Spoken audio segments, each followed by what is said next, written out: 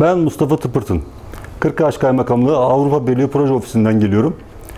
Üreten şehrin üreten kooperatifleri programı kapsamında Zafer Kalkınma Ajansı tarafından toplantıya düzenlenen toplantıya katıldım.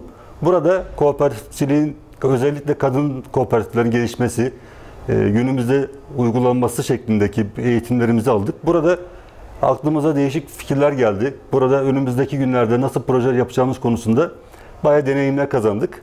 Zafer Kalkınma Ajansı ve Sanayi ve Teknoloji Bakanlığı'na bu programdan dolayı çok teşekkür ediyorum.